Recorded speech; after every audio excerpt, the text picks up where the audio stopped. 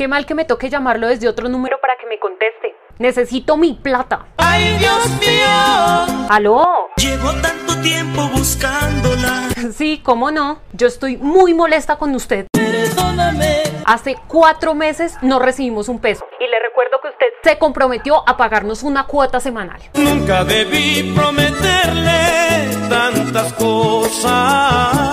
Usted trabaja, usted tiene un sueldo. Pero nunca me alcanza. Pues no sé, haga algo, consígase otro inquilino, arriende otra habitación. No me queda espacio para nadie. Usted tiene carro, ¿por qué no lo vende? Es algo que necesito para vivir. Entonces, ¿de qué manera me piensa pagar el señor? Si quieres soy tu amante. ¿Qué qué?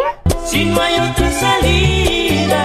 ¿Qué tal este ridículo? No, pues, ¿qué dijo? En especie. Ahí me hace el favor y me respeta. Disculpa si soy un imprudente. Aténgase, porque con mi marido lo vamos a buscar por toda Bogotá hasta encontrarlo. Pero se van a quedar con lo que poseo. ¿Ah, sí? ¿Y por qué? A ver. No hay otra, yo me voy de esta ciudad.